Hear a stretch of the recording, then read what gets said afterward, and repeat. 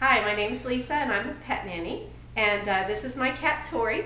And if you come around to the back of the couch, you'll see this is my dog Scotty. Hi Scotty. Hi Scotty. I'm uh, looking forward to taking care of your cats and dogs too. Have a great day. Thanks.